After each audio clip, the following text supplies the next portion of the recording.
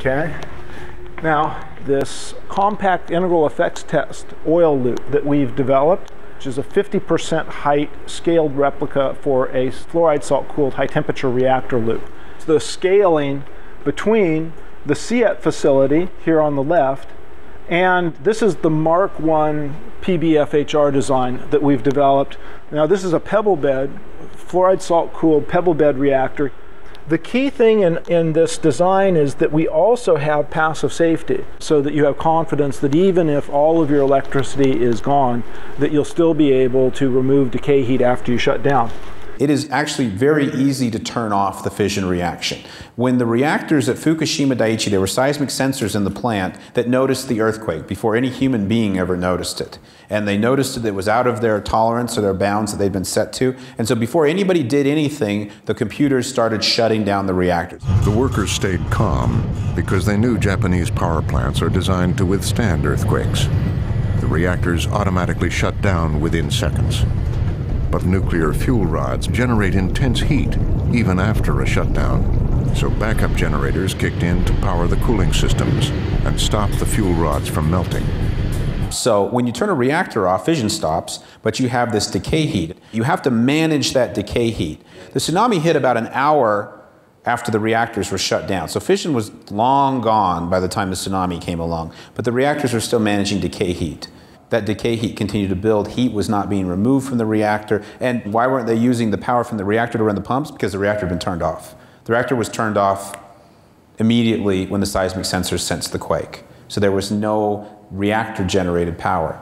In light water reactors, if you allow fuel to be uncovered and you allow it to heat up, the zirconium cladding will react with steam to Good. form hydrogen. As the fuel overheats to temperatures where it begins to lose its physical integrity and have localized melting, in the chemical conditions that you have with water, highly oxidized conditions, cesium and iodine are very volatile and they, they evaporate out form small, condense a small particles, Aerosols. and you have intrinsically high pressure, and so you therefore have physical mechanisms. A dispersion term. Yeah, that can mobilize cesium and iodine. Now we designed the reactors to make that very unlikely. Yeah. Uh, through a combination of highly reliable cooling systems, passive systems are better than active, as we learned at Fukushima. But the physical mechanism remains. The physical mechanism remains. Whereas in a salt reactor. In a salt reactor, cesium, there's nothing that cesium loves more than fluorine, and it will, it will, it will compete with anything else to grab a hold of the fluorine and cesium fluoride is very very low volatility and very high solubility in salt. So no aerosols. This is the uh, Watts Bar plant. Up here is where all the control rods slide in and out of the core. And then there's these four steam generators. You can see the steam generators at Watts Bar are as big, if not bigger, than the reactors, and they also have to operate at these very high pressures. Now, there's four of them. Look at that. One, two, three, four, five, six, seven, eight. Big pipes. The number one accident people worry about with this kind of reactor is what's called a double-ended pipe break.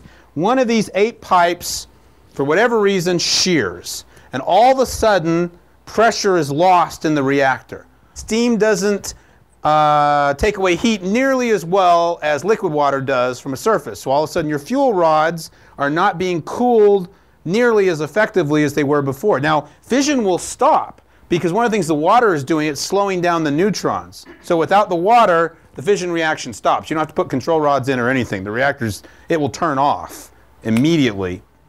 But the containment building, I mean, look, look at the size of the reactor, look at the size of the containment building. It's huge. It's much, much, much bigger than the reactor, and that's all driven by that thousand to one difference in the density between steam and liquid water. This building is the size it is, and it's the way it is, precisely to accommodate this event. They've designed this reactor so if this happens, all the steam is captured in this building. A design basis accident for a pressurized water reactor that is evaluated in which we believe the reactors can respond safely is what's called a large break loss coolant accident. You could think about going to a real big pressurized water reactor, the real thing, getting high explosives, strapping it onto the cold leg of the reactor, and blowing that leg, take the pipe apart. and, and do the test. Um, there's a number of reasons why that's just a bad idea. And the best way, once we're getting into rather severe conditions, is to make use of simulations validated by scaled experiments. I think that would surprise people, though, to realize that the best way to simulate a fluid is with a different fluid, not with the same fluid. Because your first impression would be, if I want to simulate water, I should use water. Yep, yep. But if you want to do a scaled effect, that's not the case.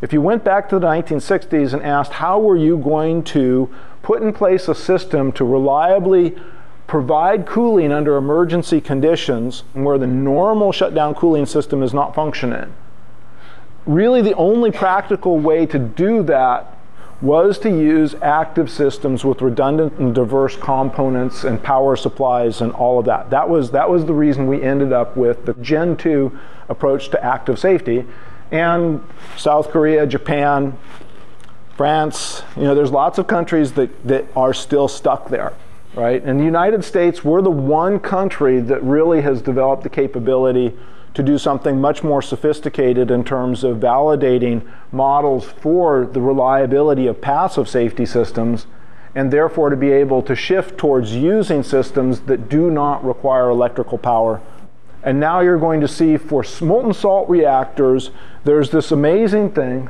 We can match the behavior of molten salts in terms of convective heat transfer using heat transfer oils.